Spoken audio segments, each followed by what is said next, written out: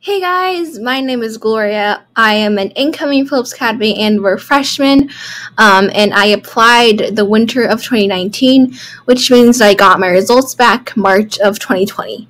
So this is my first ever YouTube video. Um, I hope this goes well, but I want this channel to kind of be informative and tell you guys what it really is like at boarding school. So we're gonna start off with applications.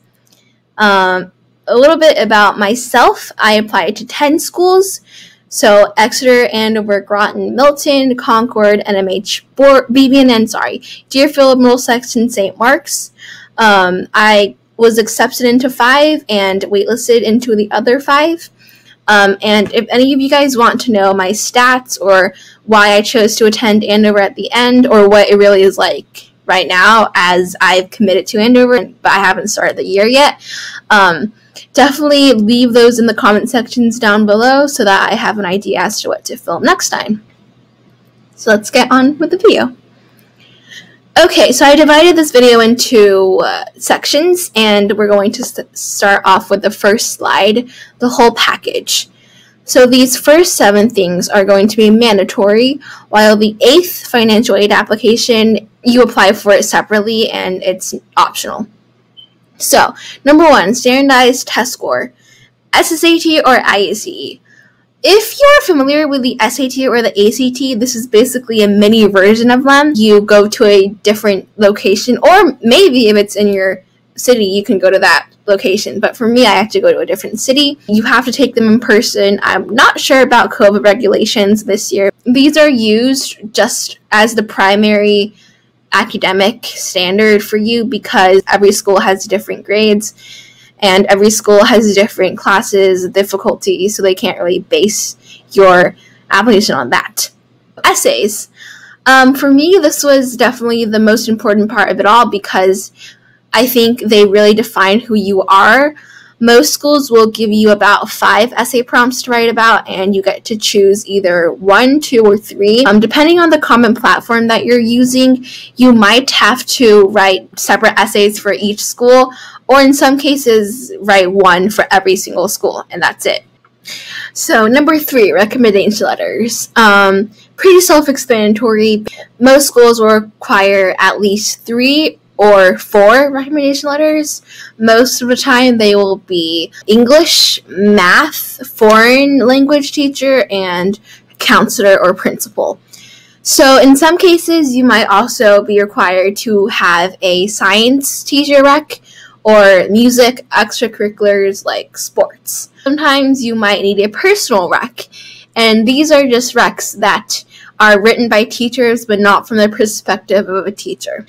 Number four, personal profile. This is probably the easiest part of the whole application because they are the most basic information of you.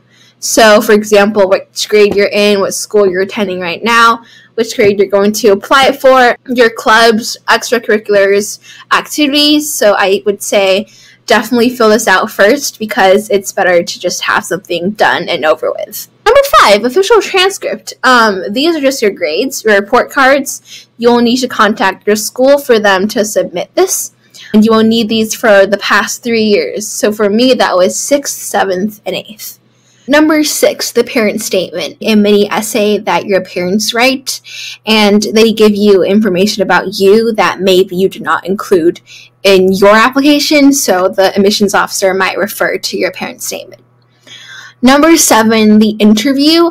I'm not sure about this year with COVID, but most schools needed for you to have a in-person interview where you go on campus and you get a tour and after the tour you get an interview. And last year some schools they had for example zoom interviews or skype interviews but it was recommended for you to go in person. The reason for that is just because they want you to get a feeling of the campus and get to know where you might end up going before you fully commit to the school. And also they want to see you in person. They want to have an actual conversation with you. So don't think of it as a Q&A. Just think of it as a conversation with an adult. Number eight, financial aid application. So a common myth that goes around with boarding school is that boarding school is for the rich kids and while there are going to be many well off t- students there, over 50% of the students receive financial aid of some sort, whether that means 20K, 40K, or 60K, which is the full boarding scholarship at Andover. So don't feel obligated, and in some cases, it's not going to affect your chances of getting into the school. And I will talk about that later. So I have a side note over here and it says, except for interview, everything is submitted into a common platform. This might need some explanation, but basically you don't submit everything into the school's website.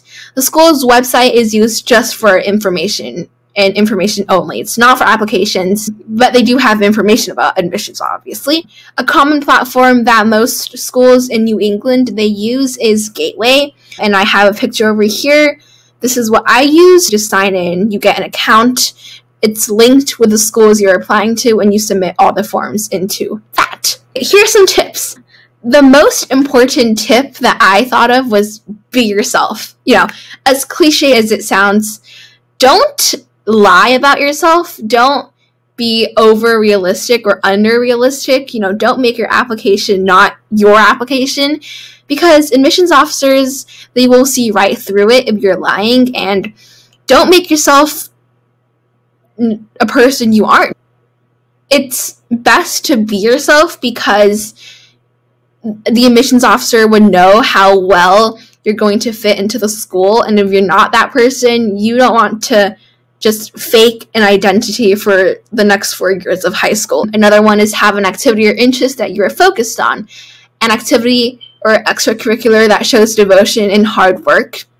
When many people think of this, they think of, oh, I need to get an award or recognition. And that's not true. Schools, they just look for devotion and hard work and something that you've worked on and focused on for the past, for example, your whole middle school career. That does not mean that you have to be particular good at this you know activity but you have to show that you have a passion for it and that you're willing to continue it at andover next don't fret too much over your test scores um, many people think that test scores are the only thing that admissions officers look at when they're uh, when you're applying and that is so not true because why would there be so many factors to the application if they only looked at your test score um, while your test score will probably be the first thing that admissions officers will look at, and they might actually deny your application if they do not like your test score. Your test score does not define who you are.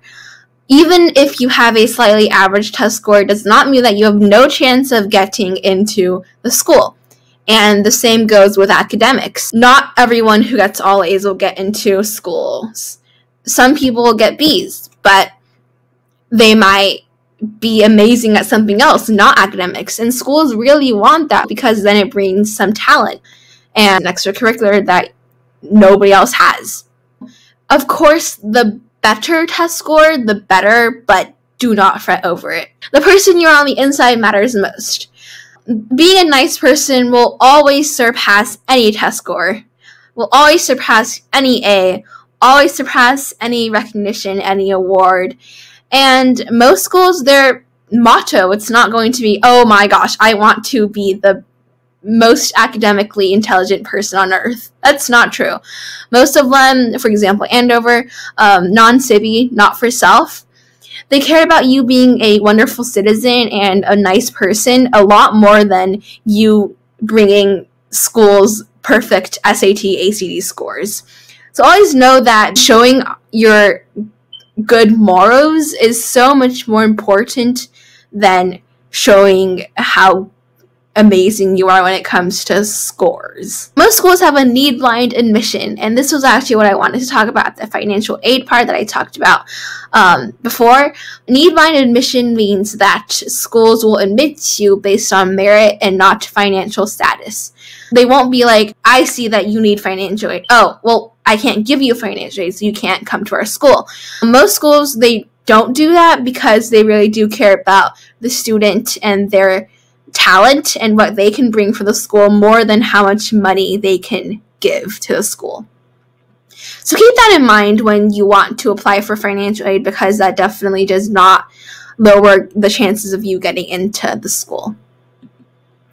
So, last section, these are just some sources to use. All of these websites I will link in the description box below, um, but these are just three websites that I found amazing to use because they really did help me when I was preparing for example my interview, but also in general. So, number one, Common Sense, school's official website.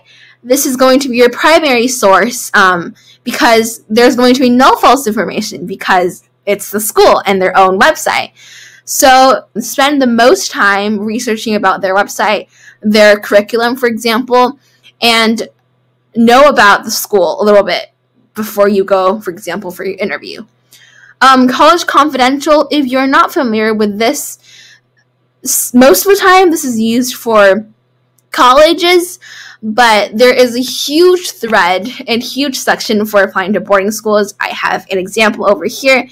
And basically, this is very useful for um, applicants who are thinking about applying next year. The applicants who have already gone through the process, they will share their experience with everybody. So this will be probably the second best website for you to use. This helped me so much because I got to read about other people and, you know, their strengths and how they did their results. And I hope that this will help you too. Number three, niche. This is just for ranking, and if you want to know what schools you want to apply to based on ranking, this would be a nice, reliable source to use. That is the end of this presentation, and thank you so much for being here with me today. Hopefully, you can subscribe and like, and you know, tell me what to film next time.